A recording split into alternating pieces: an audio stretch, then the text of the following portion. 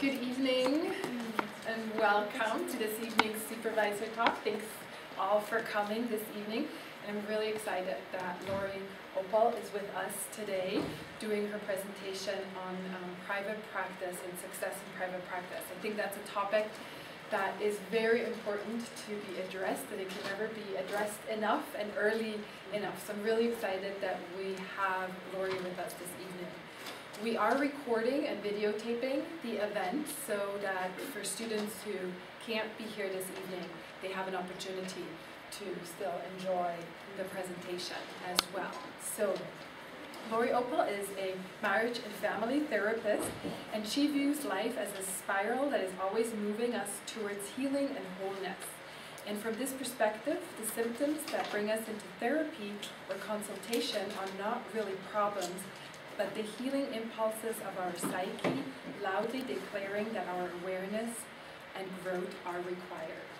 Um, Lori is trained in EMDR and has expertise in trauma, depression, anxiety, self-esteem, relationship issues, couples therapy, and spiritual matters, and including spiritual emergence and emergency.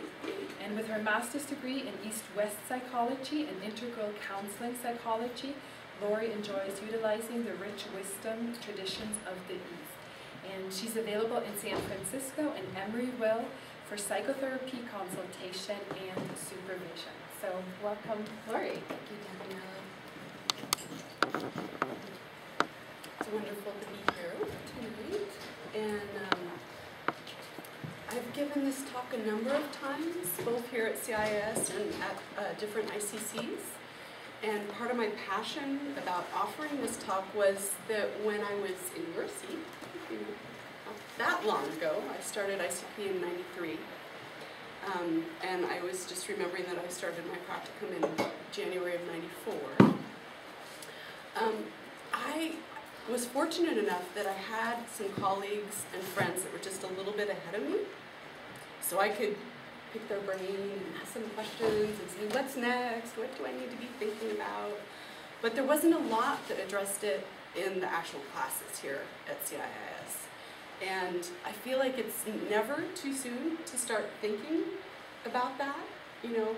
Um, and let me just ask the question, I, I won't be able to address all of you individually, and there will be some time for some questions at the end that may be more specific to your needs. But does everyone here hope to someday have a private practice internship and then a private practice of their own? Is that something you aspire to? Is that true of everyone? It usually is. We're just like, how do you, how do you get there? so, um,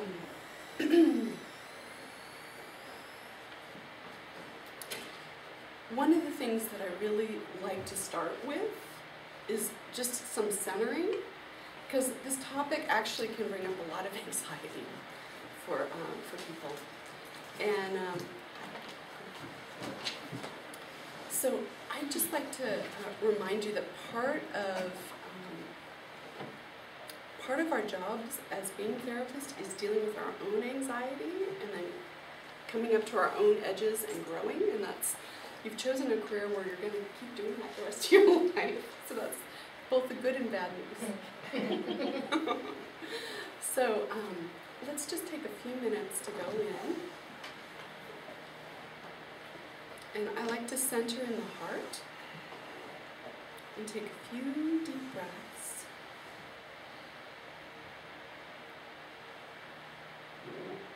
And from this place, I want to offer you a poem.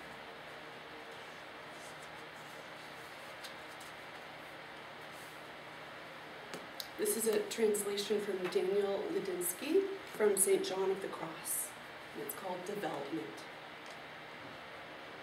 Once I said to God, How do you teach us? And he replied, If you were playing chess with someone who had infinite power and infinite knowledge and wanted to make you a master of the game, where would all the chess pieces be at every moment? Indeed, not only where he wanted them, but where all were best for your development. And that is every situation of one's life.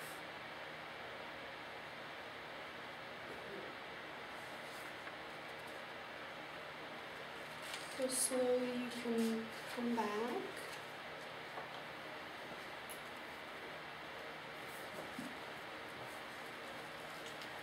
So, um, I often find that poetry can offer medicine in these moments, and you all are in, on your path of professional development right now. It's, you- you're on it. And um, I really do feel like practicum, and actually the whole program, is a bit of a trial by fire that we go through. Get thrown into the deep end, figure out how to swim. So I like to normalize that a lot because it doesn't necessarily get talked about. And um, I think that there can be shame or embarrassment around how challenging this task is that we've all been, I think most of us are called to it, to come put ourselves through the fire. It feels like you kind of have to be, to hang in there because it's, it can be so intense. Um, so I'm gonna do, uh, while I'm talking, I'm gonna model one of the edges, which is like how do you start developing your professional material? What does that look like? How do you get mailing lists? So I, I just have one copy because I'm almost out of them, but this is a newsletter that I put out twice a year with some other colleagues, so you can just peek at it. So if you actually want to get a hard copy, I need your real mailing address, and then you can also give me your email address, and then I'm hoping at some point to do some consultation groups, so let me know whether you'd like to be on my mailing list or have me let you know about that.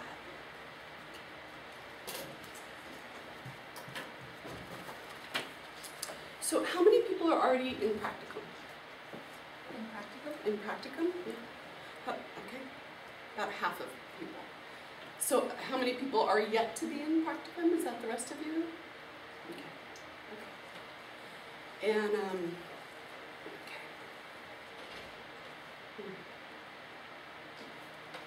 So one of the things I know about myself is as much as I have an outline and I try and get, I'm much more circular the way I work. So um, I hope you can bear with that and there will be time for very specific questions. And the truth is, I really gave you everything right here. And um, some of the articles that I'm referencing are on my website under articles. There's uh, the very first one is about setting yourself up for success in a private practice internship. I think that one's really important because a lot of people don't understand that it's actually starting your own business, even though it's under the auspices of somebody else's license. So that really breaks down the nitty gritty stuff. And then I have another article on developmental tasks of a therapist, which are the edges that we're growing, you know, are, um, you know, how to have compassion for ourselves, because we can only be exactly where we are.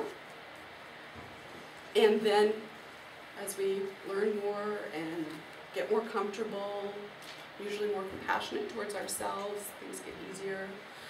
I- will say, I don't think it ever, um, I'm continually humbled by sitting in the therapist chair. I I feel like all my clients are my teachers, and, and I am so honored. And um, I also feel like my uh, supervisees are my teachers as well. And it's a great journey to get to. Um, my goal as a supervisor is always to help someone become the best therapist they are, like whatever their inherent gifts and skills are. I, I try and help them blossom into that. Um, so I'm a little different in that I don't have a sense of like, this is the right way to do it. And sometimes that means I'm not the best supervisor for some people. You know, if you really want nuts and bolts and tell me exactly what to say and do, that isn't my style. If I were to say how I work, it's more helping you get comfortable with not knowing.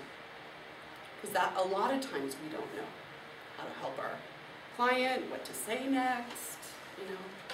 So, um, yeah.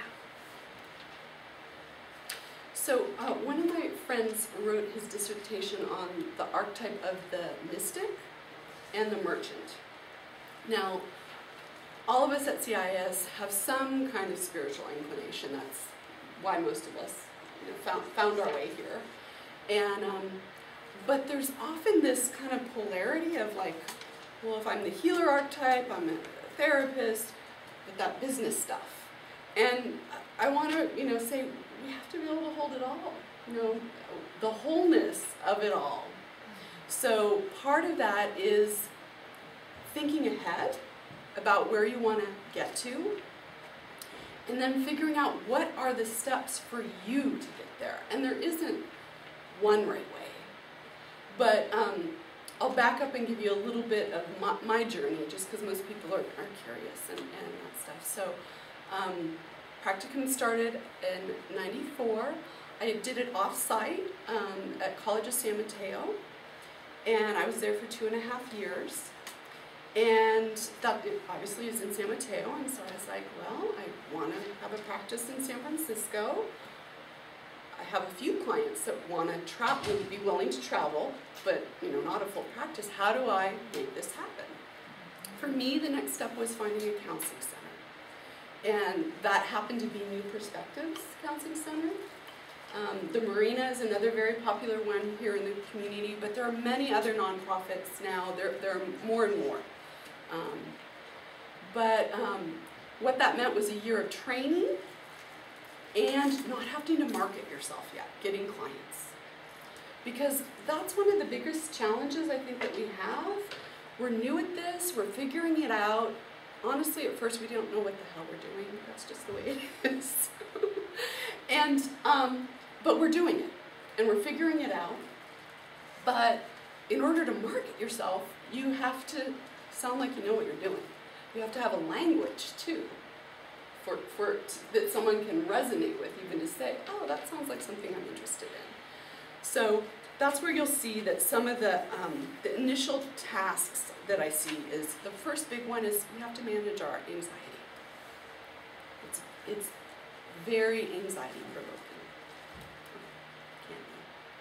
You know, especially if someone is coming kind of like, fix me, help which, which is very often what uh, clients are coming. You know, that's, they're, they're suffering. So, um, so how do you deal with your own doubts and fears, your feelings of insecurity? Um, that's a big part of what we're figuring out when we're first um, in the chair. Um, I really think that one of the biggest jobs we have is building up our own loving kindness towards ourselves or compassion. Um, that that is really essential because as we are able to embody that more and more, that's part of what we're modeling for our clients. And a lot of our clients, one of the big issues is that they, they don't know how to love themselves. They have not been taught that. So um, that's where you know the therapeutic experience can be a very healing space. Um, so I like, um, as you can tell, I, I, like poetry. So one of the um, poems that to me gets right to the heart of the matter here is um, a Hafez quote, not necessarily a poem, it's more prose. But um, someone asks Hafez, what is the sign of someone who knows God? And he says, he gets quiet for a while, and he says, my dear, they have dropped the knife they have dropped the cruel knife that most so often use on their tender self and others.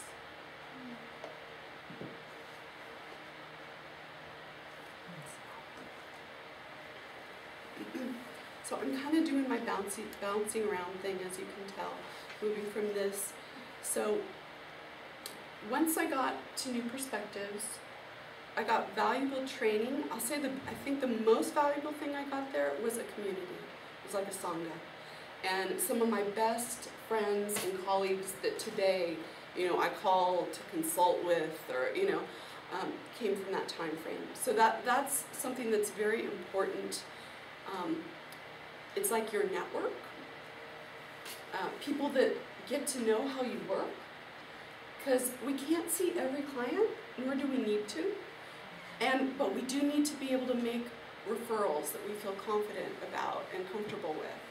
Um, so it's really good to have people, and then they're going to be thinking of you, and it's this win-win. Um, and then I started cold calling. Because I knew I wanted to be in a private practice internship. Of course, first I started with every teacher, every everyone. Fall, you know, I can't even tell you, but I literally got to cold calling, um, and interviewed with a number of people, and then found someone who was willing. I mean, that's what it, it takes: is finding someone that's willing and feels like a good fit. Um, and I'm forever grateful to her for that. Um, and then, so that was about, I want to say 97. And then I was licensed in 99. So that's when I um, had my own private practice, June of 99. I've been supervising since 2002, private practice interns, and I also supervise for CIIS and Perspectives And I really love supervising, um, partially because it is different than doing therapy. Not I love doing therapy, but I like that I get to wear more hats and different hats, and I get to be a lot more transparent with my supervisees. Um, I definitely feel like I turn into business coach, mentor, you know, all the different um, possibilities. And I like um, so the, one of the things that, that is really important is, is that is listening to yourself and your own growing process because your psyche knows where your edges are. You know, whether it's in your own therapy or whether it's with your clients. You know where you're having a hard time and where you need help. Um, and I always feel so excited when my supervisees are able to share all of that with me you know, they think, uh-oh, I'm sharing this, this means something. And I'm like, yay, you're normal, and you're being able to ask for the help that you need with dealing with these really, you know, the most challenging part of this work. Um,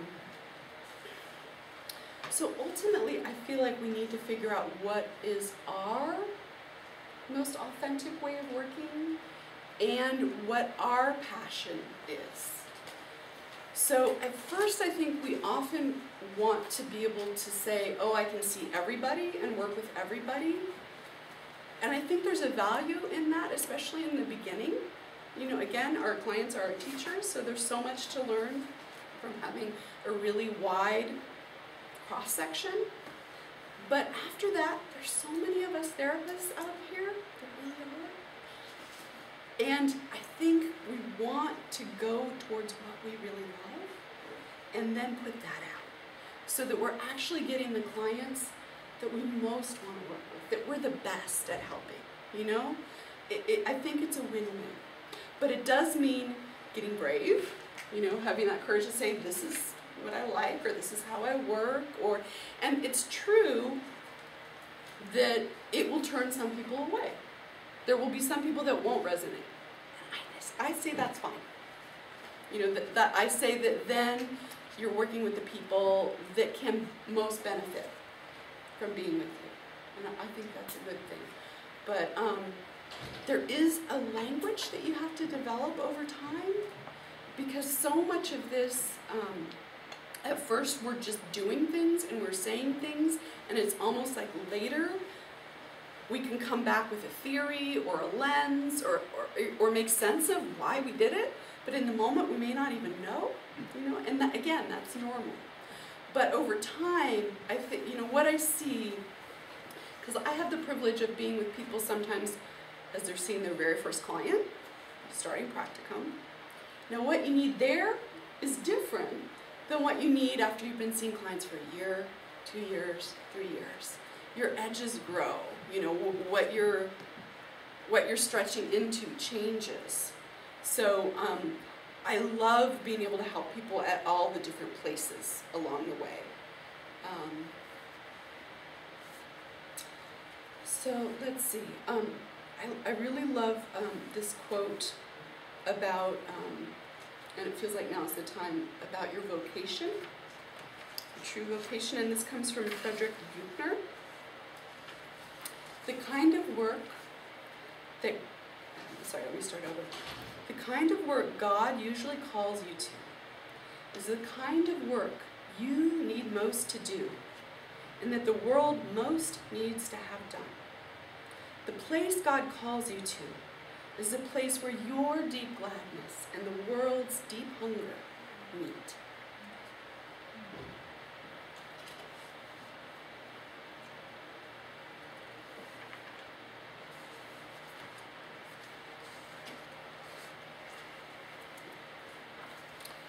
So, um, one of the things I very much like to encourage with uh, supervisees is is doing trainings. I'm sorry to say. Um, you don't get everything you need from school. Now, once you're licensed, it's already built in that you have to get CEUs. You know, you need to get 36 within two years, and I always get way more than that. And I love that, you know, lifelong learning really is a part of this career. But I do think that you actually need to start doing that whenever you see something that's like, wow, that's exciting, that calls to you. You know, one of my supervisees, it was clear she knew she wanted to work with eating disorders. I said, oh, you know, JFK has this great certificate program. She got right on it. So that's how you start developing your niche. I mean, sometimes have another supervisee where it just seemed to be that he had all these couples and he couldn't quite explain it, but that's what happened. And so then he did some training with Terrence Real and, you know, just finding different places, different resources. So, um, I think that that's really important. Um, I think it really helps you grow and, and develop more of the language and the ability to talk about these things. So I hope that isn't too much bad news. um, so I talk about different, what I call um, merchant-focused ideas. So this newsletter that I handed out is one of those. Building a website, having a place where your articles, if you write them, can be. Those are all kind of merchant-focused ways. These are your marketing materials, and you're going to want to be developing them over time. Even if you're at, um, I think more and more, even I'm thinking of Golden Gate, where you get a little blurb in your photo on, even when you're in practicum. So, you know, um, so much has changed since I started. You know, we were barely emailing back then, and now I look at that part of what you have to develop in the culture now is more comfort with technology, is having a web presence, is having, having marketing materials that differentiate you from other people. So that's all part of it, and, and it's never too soon. You'll never regret starting. I did hear. Yeah, in terms of marketing um, and like branding yourself, where are places that you market, that you expose yourself to besides just word of mouth? It's a good, it's a good question, um, and the answer is going to be different for um, an intern versus when you have your once you're licensed. You know what you're able to do is a little different. Um, it depends on where you're at and what they're comfortable with. I have some uh, people that I work with, uh, new perspectives that have been on Psychology Today. You know, like that. That's a, a thing that they added. Um, there are a lot of different uh, web presences, you know, therapy, therapy tribe. I mean, there, there's uh, so many. And um, so it's figuring out which one resonates for you. Um, but, you know, one of the things that I've done more recently is I've done a Google Maps ad, and I'm definitely noticing a lot of traffic from that. Um, so let's see. Um, I feel like I'm not quite. Each time I do it, it's a little different. And um,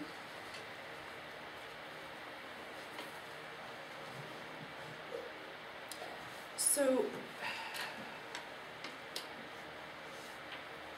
remember my focus is wanting to help you set yourself up for success. Now, what I can tell you is that there's this whole range, and wherever you are is just fine. Like that's where you are. You can't be anywhere else, right? You can keep growing, and, and that's part of what kind of is required in the situation is to keep growing.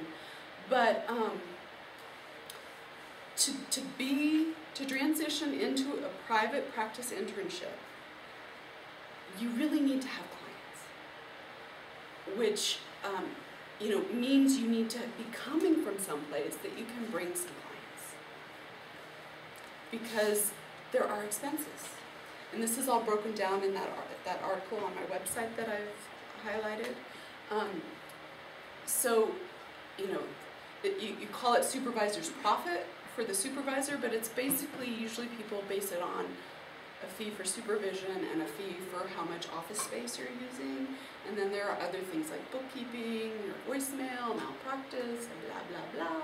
You can look it up if you want to look at it. But anyways, there's there's expenses. So you need to have a client revenue that's going to be covering that.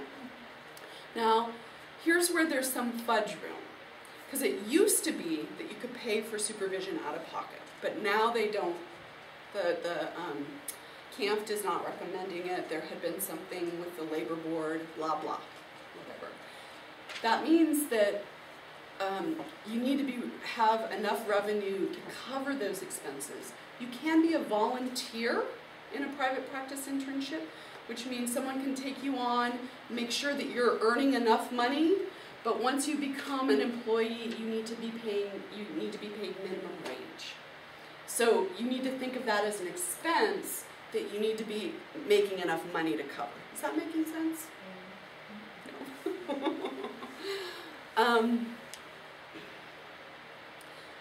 I think you can understand that most supervisors can't afford to be investing in your business your business needs to be self-sufficient. It needs to be generating enough revenue to cover the expenses.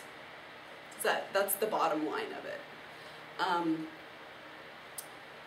so the way I've got, yeah, Uh, what did you say about, um, not paying supervisors out of pocket? If- So it used to be that you, the clients pay for it. The, your revenue stream pays for it. I get it, okay. Yeah. Um, so uh, checks are made out to your supervisor. You're not allowed to, no checks can get made out to you until you're licensed. Okay. So I usually have a separate account for each intern, so it's more clean that way. And and then um, any expenses can come out of that, and supervisor's profit can come out of that. But but you're getting the sense that ideally you're not you're making enough so that all the expenses get. And that's where I would say again it depends on your client load, but and and what they're paying. So those are some of the big variables.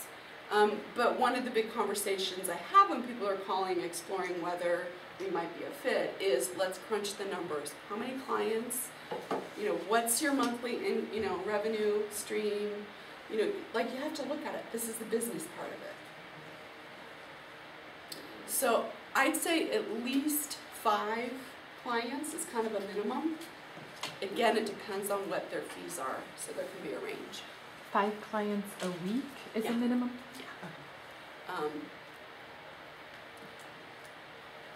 to give you, it, again, it depends a bit on how much office space is getting used, because that's the, the rent portion of the supervisor's profit. But um, I would say like a minimum, uh, just monthly on that is between six and eight hundred. You know, to give you just a number. That's kind of an So I'm still a little confused on the whole financial aspect. So then, say you have five clients, they're then writing a check to your supervisor or Mhm. to you? To your supervisor. And then you're paying them as well if you have additional expenses? No, so this is why I'm saying you need enough client revenue generated here to cover the expenses. Because otherwise you get into a situation where you're not making enough money to cover the rent, the supervision, and the other costs. And since legally you can't pay them out of And pocket, then since you it- would actually be yes. something really. Now, I'm not, uh, I don't, So, then it sounds like, like your supervisor's your bookkeeper and then they're, then they cut checks to pay your Right. space. So I pay, I would never be the bookkeeper myself. The only reason I'm able to supervise is that I hire a, you know, an agency that specializes in that. They do the payroll, it's thirty dollars a month, you know. So that's another one of the expenses that goes into it. I think most supervisors would not be willing to take that on. Um, um, they help you with the workman's comp, you know, all these other pieces of being, because basically I've then become an employer. And, uh, you know, there are other implications and all that. How is that essentially different than something like a counseling center that you're kind of, can you just describe the differences and similarities maybe between? Well, usually counseling centers are nonprofits. Some of them do training portions, some don't. Um, so uh, there, there are, uh, I think the same structure in terms that sometimes you may need to come on as a volunteer. You know, it varies from each place to each place, so I can't really speak in huge sweeping generalizations about nonprofits. Okay, you could speak to new perspective, because I'm a little unfamiliar with even how that kind of is working then. How, I'm, I'm not How- understanding the question. How a new perspective works in comparison to that, like being, having your own private practice, as an inter- uh, internship. So the difference that they have is they have definitely clients that come to you from their advertising and all of that. Mhm. Whereas in a private practice situation, you're really landing and needing to advertise yourself. Like be ready to do that. Mhm. And that's part of what I'm trying to help people differentiate inside. Am I ready to do that? Mhm. Do I, do I have enough clients? Am I generating enough revenue? Um, do I have enough of a like social network or collegial network that I'm gonna get referrals or am I ready to take out ads? Because the other places, you'll get, at least get some clients that way. Got it. Can you bring your own clients to a counseling center? Absolutely, they're thrilled if you do. So it sounds like a counseling center is more like uh, starting a, a landing pad and then you go off. Yes, I mean, that's how, I- that's how I used it, Right. yes. And then one last question. When you said you were doing the cold calling, those are for clients? No, that was for finding a supervisor. For finding a supervisor? Yeah, finding someone who was Wow. willing to supervise me. Okay. Um, are, are you saying that, um, there is no money to be made as a, as a private practice intern above minimum wage? No, it depends. So here's the thing. Um, each supervisor who has a private practice intern is the employer and gets to make all the decisions. They can do it any way they want. They could just pay you minimum wage. Um, the minimum wage part is the minimum that's required if you're an employee. Is that making sense? That's why I'm saying you have to think of that then as the payroll and as what the client revenue needs to be generated. In my situation, I considered whatever was left over after we paid any, you know, expenses. Like we can, you can, I, I let people write off their therapy, books, you know, whatever. If as long as we had a receipt, that could be pre-tax dollars, but um, then the rest would be a bonus. Thank you. Um, I work at a counseling center that we take very low income clients, Yes. um, for low fee, exciting scale. Um, can you say something about transitioning from that? It's challenging. It's challenging. This is probably the biggest conversation I have with my supervisees, um, whether it's my private practice people or whether it's people looking at making that transition um, about raising fees. So you'll know that one of the things I say here is raise your client fees once a year. You know, start you know, I recommend if you're at Church Street or wherever you are, practice. Because this is one of the harder conversations to have with your clients, and it stirs up all your anxiety and all that. So, but it's actually one we need to get good at. And um, so, even if it's you know five dollars a year, it makes a difference. How how low fee are Goes down to twenty-five per session. And does it kind of move you up so that eventually you're, you're headed towards higher? Not, not so, Yeah, it's a sliding scale, it depends on income, goes up to seventy-five. okay. Yeah. And then we do reassess if the client's Right. financial situation has changed. Exactly. So you are going to want to do that, and one of the conversations often that comes up. Um, so I have private practice interns, and I'm, I'm actually at the point of starting a nonprofit so that I'll be able to supervise more interns. Um, so I'm in the process and not going to talk too much about it because it's like a new, it's like two newborn baby or something. I'm not quite ready to talk about it, but um, it's Prajna Psychotherapy Center, and, and it will mean that I can supervise more than two interns, because that's one of the things about um, private practice internships is you can only supervise two. Um, but, so the big conversation when people are coming over is, this is kind of the, the suggested conversation. You know, I'm moving to a private practice internship, my expenses are going up, my fee structure is going to change, and this is where I'm headed. Like to be really gentle with clients, don't want any of them to have to, you know, for that to be the deal breaker for them, but also to let them know that eventually, and for each um, supervisee, I help them decide what is your what is your sliding scale. I don't set it for you. I help you set it for where you're at. So different people are at, at different places. Like I had two people that came to me from a counseling center where it was 50 to 90, and they were really comfortable with that. So that just seemed normal, right? To just go with that. And then they grew over time. So what starts happening is you start not sliding so low, and with newer clients, you, you know, that, that's just part of the evolution that starts happening over time. And especially as your practice grows. At first it feels like, you know, we just want the hours, and, and especially when we're not getting paid, you know, and that's why I try and bring the awareness that even if you aren't getting paid, technically, if these are the clients you're going to bring, you're going to want to have practiced and had these conversations and have them, you know, comfortable that oh, once a year we talk about fees. That just happens, whether or not they get raised or not. You know, so that's my encouragement because um, because it is one of the harder conversations. Is it not advised to bring clients with you that are not going to pay for themselves? Well, you know, it's tricky because you want your hours. Um, I had one of my interns crunch his numbers, and I think he came to that thirty dollars was like break even for him right then, um, with the amount of office space he had, blah blah. So just knowing that would make you know, like that's my break even. That's what it costs me to see a client. So your numbers may be different, but to know that I think is a really valuable thing to have figured that out. Because it helps you be able to have firmer boundaries if you and, and I think we all will make exceptions. You know, I know I know I, I definitely do.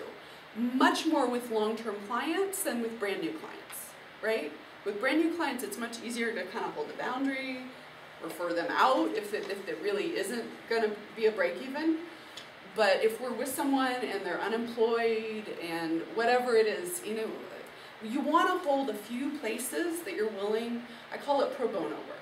You know, for me, that's seeing you guys as supervisees at, from CIIS. That's my heart's giving back. You know, I'm, I'm breaking even basically. But um, you want to have some sp- spaces for that. But you can't have too many, not if you need to make a living, which I think we all do, right? A, we live in a very expensive place. So there's no shame in the fact that we need to make a living at this. That's, again, holding that merchant part and being able to hold that. You know, sometimes those are the conversations that really need to happen, you know, where a client, um, they want to make it about the money. And, and sometimes it is, sometimes it's not. Sometimes we can just, you know, really lean into it. Is it really about the money right there? Or is it about our, you know, or is it about that our relationship and that sometimes it's awkward that there's this business element, you know? Um, you'll get pushed on your cancellation policies or, you know, whatever it is. You'll always be tested about where your boundaries are. Um, and they change over time, I can say that for sure. You know, there's this developmental, evolutionary process that happens over time. That's definitely part of it. Um, so I'm looking, I'm, doing great. Here, let me let me go to the intern self-assessment part that's in that article on my um, website. So this is kind of some of the questions that if you were um, thinking about private practice that I would want you to answer for yourself. And then I also have questions for supervisors there, because if, if you're exploring working with someone who hasn't supervised before, I'd recommend that you point that, that out to them, because I think sometimes supervisors don't understand what they're getting themselves into, and I like them to be educated, educated too. So, um, so, I, I, so here's the intern self-assessment. In addition to being an effective therapist, do you feel you have the entrepreneurial self-confidence and perseverance needed to initiate your own business? Do you, do you, are you ready? Are you like excited? You're gonna be scared. Don't worry about that. That's normal. I wouldn't ever expect that to not be there. But are you, uh, are, are you up? Because if you aren't, go stay somewhere where you can ripen a little bit more, you know? Like, take care of yourself. This is a marathon. Don't just, you know, it's a marathon. You want to make it all the way through. So this is one I really highlight because I can't tell you the number of people I've seen get stuck behind the 500 hours for families, couples, or children. So think about where you're going to get those hours. Now, I'm sure you know that the first 150 that are uh, either couples or family, now you can count double. So that, that 150 can turn into 300, which is great. But if you're just, if you're in a private practice setting or even if you're at a counseling center, uh, mm, you know, three couples a week doesn't add up very fast. You know, it really takes a long time. So I've seen a number of my colleagues get stuck for years. I mean years. Just chipping away at those. So what I did was at the when I was at uh, College of San Mateo, they had a sister school that was thrilled to have any help, and I saw kids for a year, and I saw 12 kids a week, and I just plowed through them. And um, I love the work, but I also have to say it's not for everybody, and I certainly it certainly wasn't for me. You know, um, my heart felt like it got broken a lot more. And there's also the element that you often you're working with the teacher because I was on site at the school. You're working with the teachers. You're working with the parents. You end up feeling like you have three clients instead of one. So it can get kind of complicated.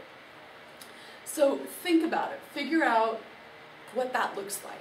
There are definitely uh, schools that are thrilled to have you. Um, and I will say I know of one person that got a paid internship.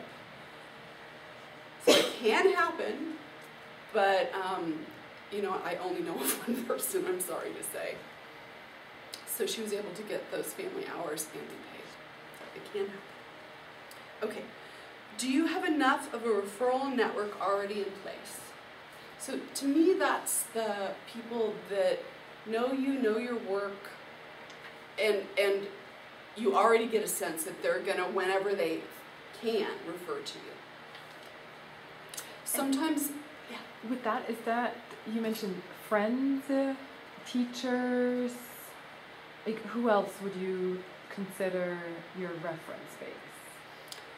Well, you know, the, the very best is when your clients refer other clients. Mhm. Honestly, that's the very, very best. But it can be tricky because some clients don't want to share you. um, uh, so that's that's absolutely the best advertising that there is. And I, I personally like I don't want to be on Yelp and all that kind of stuff. I've heard some horror stories already from people about you know you can get great reviews and you can get horrific reviews because you know it's free speech and all that. So um, I think you want to be careful with, with some of that. But um, Yeah, I guess really for me, it's my colleagues that have become my friends, you know, that we've traveled, that were like, hey, I'm doing this uh, CEUs, come and join me, that kind of thing. Yeah. Or that I call when like, help! I need help holding this, because it still happens. It does. Okay. Here's another one. Does your life have adequate personal support in place to deal with the potential isolation of private practice? So, um, this is real. This is real. It can be shocking to people. Um, you know, I'm in a suite where I- there are six offices, and sometimes I don't even see my suite mates in a day. It can happen. Like, I'm there, we're both working, and or maybe I see them as they're going to from the bathroom, and that's it. So it's it's not the same as being at a counseling center where there's kind of at least maybe some space or some time or you know group supervision or so that's the place where often um, finding a consultation group that you like or creating a peer um, support group.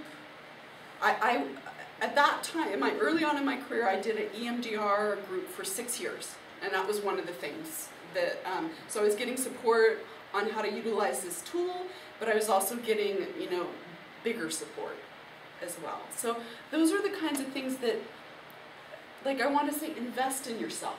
Invest in your self-care because it's it is important. I, I really recommend being in therapy. I mean, we can't uh, uh, I can't emphasize how much we learn from that experience. And at this point, I can say, you know, having been in therapy for a long time, not not continually, but you know, in and out, and with different therapists, you know, there is this thing where a certain piece of work needs to happen. It happens, and then maybe you move to somebody else, and there's something else that needs to happen. And there's just a way that from each therapist you learn something different. So, um, okay, here's another one. Um, do you have at least three strong professional references? Now, that can be your supervisor, certainly can be um, a clinic director if you're at that site, but, and, and then, then usually one more. Um, when I'm interviewing people, I'll ask for three. I'll for sure want to talk to at least two. Um, and if I'm having questions, I'll, I'll want to talk to the third too. But you want people that know your work, can talk about that a little bit, because that's really the lens that um, a private practice supervisor is going to want to hear. Um, my favorite question to, that I ask other supervisors is, um, what are their gifts, and what are their growing edges? So those are great questions to ask yourself too. So, are you comfortable talking about how you work?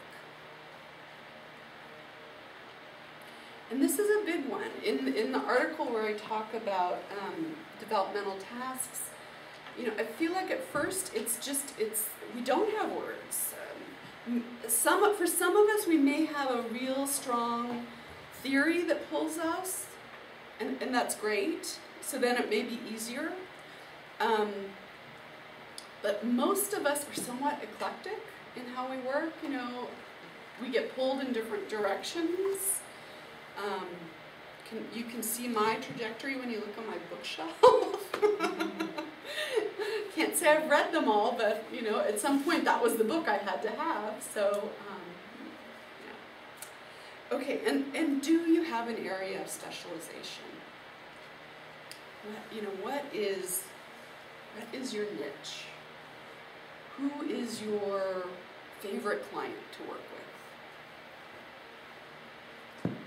How do you figure that out? Is it through, like, just being in practicum or? It's a great question. I mean, a- again, it's kind of a process. Um, I think that there are things that often happen where sometimes we choose our niche, and sometimes our niche chooses us. So, it- or, or sometimes each way. So, um, you know, life experience, your own healing journey often has a lot to do with it. Um, and then just where you find the juice. you know, what kind of clients you find really that you get excited about. It, it's okay to love this work too. I want to say, I, I think we need to, because sometimes it can be really, some of it's really tough. So there, there does need to be passion and joy, and you know, so look for that. You know, a little bit of follow your bliss. So, um, so then the last question is, um, do you understand the work entailed in marketing and networking? Do, do you get it? Do you understand? And I have to say, you know, it really, really, really has changed. My networking when I started in 99 consisted of twice a month going out with one of my favorite colleagues. And that was all I had to do. It has changed since then. that, that wouldn't cut it. Although I still do make sure to do that because that's part of the self-care, you know. But um, it takes a lot more than that. When you say going out, do you mean just flyering? No, I mean going out to lunch. Oh, That's what I did. Yeah. No, not flyering. So I think, you know, at this point it's much more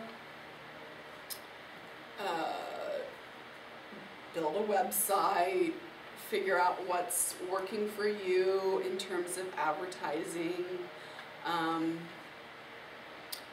and you do get a sense, you know, um, and if you get just one client, it, it more than pays for itself, you know, A- any of them, you know, just one client, it, it like you're you're fine, and um, you know, so figure figuring that out. I think flyering does still work, um, it, but it's about finding your kind of target client and where, how to get that to them. You know, what's the most expedient route to getting that information to them. So, um, one of my my niches is around parenting and um, pregnancy and all of that, and I'm probably going to be advertising in Birthways, which is a, a online magazine, and uh, it's in the East Bay, over in the East Bay. But those are the kind of things where you can find places that are more specific to, to the kind of clientele that you're working with. Um, so it's it's 10 after we have 20 more minutes. I want to open to up to your more specific questions and then i have a poem to end with. So um, i just want to again highlight that both articles that i've been pulling from are on my website under articles and one's the private practice setting yourself up for success and the other's uh, therapist developmental tasks Can you just actually speak out your website just in case Oh, people yes, are yes. looking at the It's video? uh, Lori Opal, L O R I O P A L dot com. And my email is lori at loriopal dot com.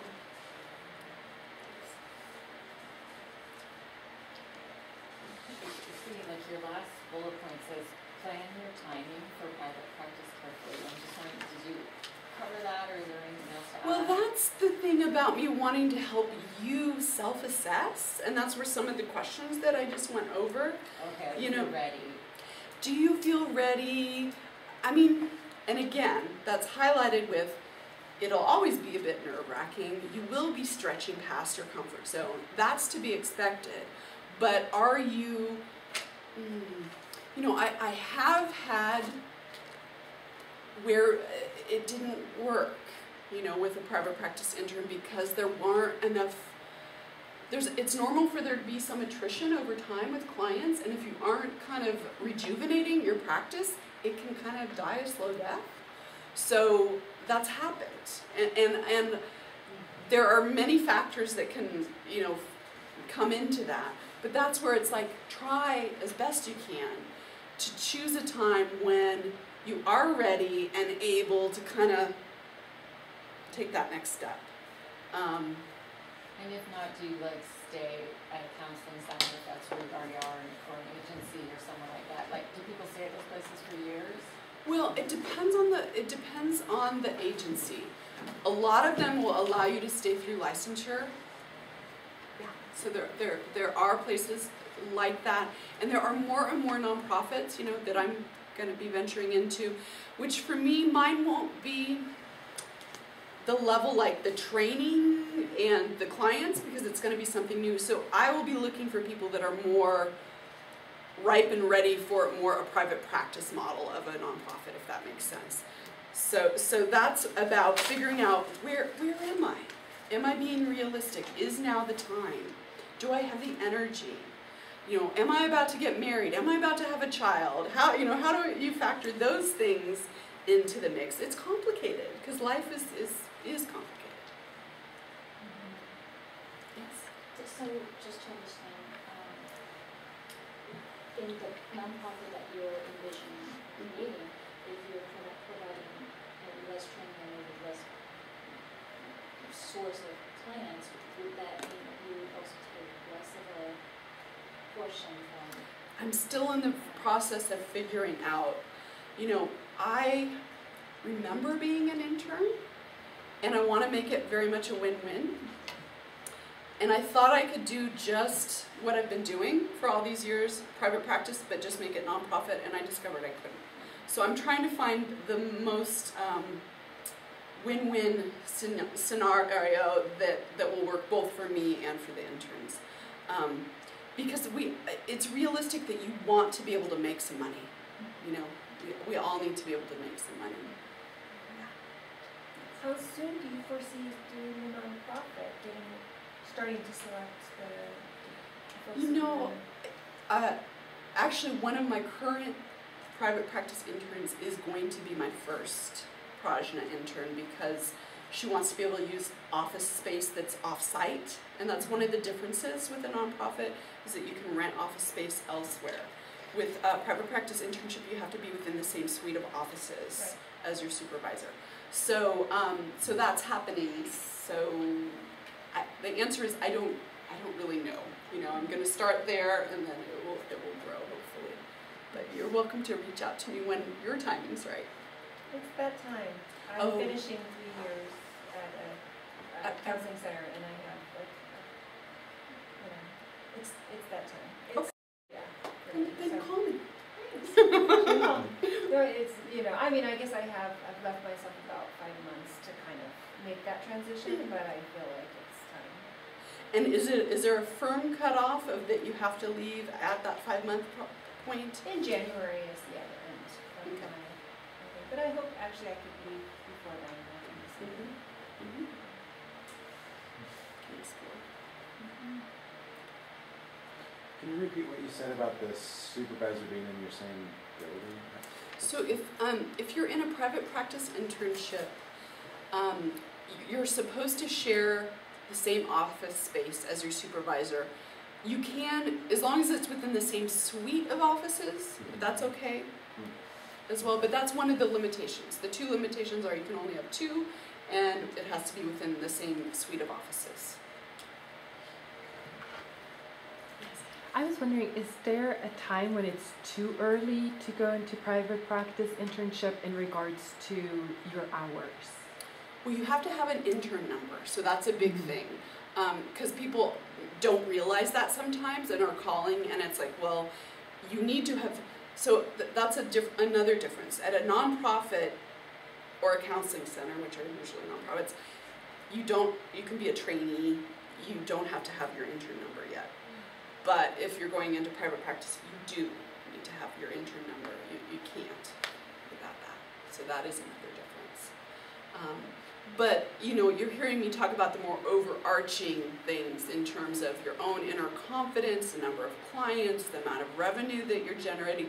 Those are all the things that you want to be looking at.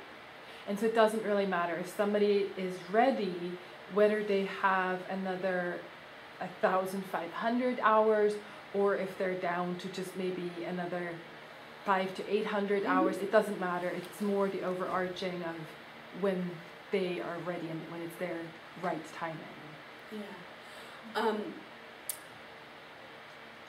so I've had people come in at different places, and and this is again where we don't want to judge ourselves or compare, because we're just at different places. You know, some people come to this as a second career. You know, some people have been in marketing before, or public speaking, or you know, whatever it is, and um, it- you know, they can really generate a client stream. And if you're not there yet and you jump in, you know, that s- slow death thing is not pleasant. As a supervisor, I don't like it. You know, that's why I'm trying to help you guys figure out, you know, self assess so that you're looking when you're really genuinely ready. Because because that's the win win um, for your clients, for you. Because it, it's not, it's very sad when you're closing a practice and having to refer clients out. That's, that's, a, that's a sad time for everybody. And I don't mean to be downer, but I, I part of what I feel like I wanna I want to talk turkey. I want to be real. I want you guys to think about the business elements of it. I want you to have realistic expectations so that you are making the choices for yourself that are going to be of most benefit to you. Is there a, uh, like, um, a number, uh, that's like, I don't know, the standard for how many clients you should have to start this private practice internship? It's not hard or fast because it really can depend. If they're all $25 clients, you can see that that, if they're five, five $25 clients, it's not enough. It's just not enough.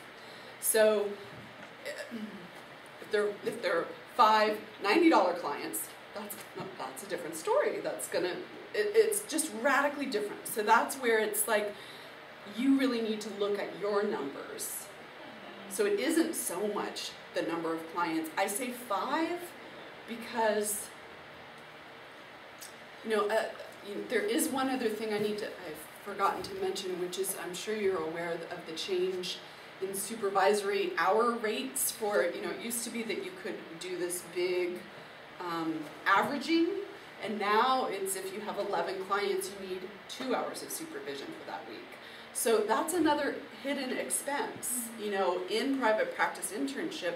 That if you reach that point, you know, what I talk to my interns about is you want to make sure that's a full fee client so it can pay for your extra supervision. Because that's the difference. If it's a low fee client, you probably would want to say, I'm sorry, my practice is full right now. I have a waiting list. I'll be happy to call you if things change. Now, once you're over the 11 number and you need that supervision anyways, then you might get more flexible. But for that one that's going to take you over, you really would want that to be, you know, it, it just makes sense, right? In terms of like long-term financial planning, so like, let's say you, um, graduate from here from Paxton and you maybe go to a counseling center for a while and I, I've heard in some places that you don't get paid for the first year and then, so like, uh, or, or even maybe just if you went into private practice and internship, like I'm trying to figure out, do you basically get paid like nothing or minimum wage or maybe this little bit extra if you have a lot of clients and then some overflow with the supervisor So it's so it so varies. So so here's the thing, I, you know, I I've had volunteer private practice interns because there wasn't yet enough. One of the my my fudge points is uh, there'll be a volunteer and we'll start saving the money in the account, and then when it seems like we're safe, then we can go. You know, like there's a net that if we ever reach that point of uh oh, I need an extra supervision, there's the extra money there. So just like a little bit of a cushion. So that's one of the ways of working around it. But um, sorry, what was your question? I just Well, so basically I'm trying to figure out like, um, how many, like once you graduate, how many years do you expect to be Right, okay. So here's the, here's the range. So I'm saying from working for free, basically, to you know, um, with a pretty full practice, I'm written checks for over two thousand dollars. You know, to, to private practice interns Per month, a month. and it, it, how many clients is that? That was you know, that was before the supervision requirements had changed. But anyways, that was probably over ten, like twelve clients a week. And a decent rate. Right, but so remember that's already covering supervisor's profit, rent, you know, all those other expenses are already out, and that was what was the remainder. But do you see how big of a span that is? And that's, you know, I, I honestly don't know of very many people that are able to get through this process without some other form of support. And it isn't always, you know, whether it's family, a husband, or I don't know, student loans, or, you know, just like you have to get creative because it is a long haul. Or can you have, is there time to have like a, another job part-time? Sure, I definitely saw people that had other jobs. They often weren't in this field, you know, so they weren't getting hours, but they were getting um, their their living expenses. So I actually should say that that is one of my questions that I ask my private practice interns is like, do you have your living expenses covered? Because I actually feel like you need to not be relying on this for that initially because it can create this intense dynamic of needing your clients and that's not good. I mean, we're holding the big picture and we're holding that yes, we do need to make money and that we are merchants, but that is never good for your clients or yourself because it's a level of fear that you're in that. And I'm also assuming that when we're talking about like five clients, just as an example, a week, we're talking about actually more clients because not every client comes every week. So Right. that base is actually much bigger. It, it can be, you know, I mean, um, it's true that it's a rare week that every single client comes. But, um, but if you're, you want, you want them to be coming as much as possible and you want to be, be holding that, but yeah. I've heard it said a few times that it takes about three years to have a thriving private practice. Um, do you think that sounds about right? And if so, what is the definition of thriving? Does that mean being able to more than break even, or is there something else to look forward to at the end of the tunnel? Well, it's a great question, and again, there's this huge range. So I, there's, you know, I'm not trying to be evasive or anything. You know, part of um, there are benefits for being self-employed. You know, one of the big benefits for me was that I got to really scale back my practice when my kids were really young, because I wanted to do attachment parenting, and that was crucial to me. And I could make those decisions. It did mean that I didn't have a thriving practice for a while, but that was a choice I made, a life choice I made. You know, so that that's where mm, there's all these different things to factor in. I have definitely seen practices take off in three years and be thriving. Absolutely. But I think it depends on you, your energy. You know, part of this is can you sell yourself? Are you able to do the marketing? Are you willing to come and do something like this, right? I mean, this is this is it. You're looking at some of my my networking right now.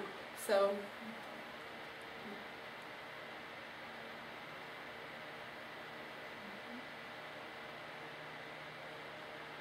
anything else? I guess part of what I want to say is is totally possible. And it's a great privilege to get to do this work. I feel honored every day. So there's there's intense rewards and it's not easy. And it definitely takes uh, you know, effort and figuring out what what's working, what isn't working, what do I need to do differently. You know? So anything else before I end with a poem? Um, I have a question, and it's not directed at you specifically, but a- around the model of supervising private internship, whatever, the thing you're talking about, um, what did you get out of it? What do I get out of it? Yeah. Um, I had a really amazing first supervisor, and I feel like she gave me one of the greatest gifts. And if I had to boil it down to what it was, is she taught me to trust myself and trust my clients, and to not get scared of the scary stuff that came up. And um, I love getting to give that gift back to my supervisees. And um, I love helping them find their bliss in this work or their niche or you know take it to the next level or whatever it is. Um, I get a lot of a joy out of that. It really is again a great honor. Um, and the thing, then the practical part about it is I get to rent my office space. Um, they don't cancel on me. you know, there's there's things like that. They come during the day, so there are ways that it is a win for me. You know, they I, I do slide. I'm not charging my full fee to my supervisees. You know, that's another way I try and give back uh, as I can. Um, but I also charge a fee that I feel comfortable with. Like I, at this point, I don't slide super low anymore. You know, like so it's it's that it's that middle ground. Does that answer? That's great, thanks so much. So, um, so this poem is, is a, a wonderful reminder. It's by Jim Cohen. You carry the cure within you. Everything that comes your way is blessed. The Creator gives you one more day. Stand on the neck of fearful mind. Do not wait to open your heart. Let yourself go into the mystery. Sometimes the threads have no weave. The price for not loving yourself is high.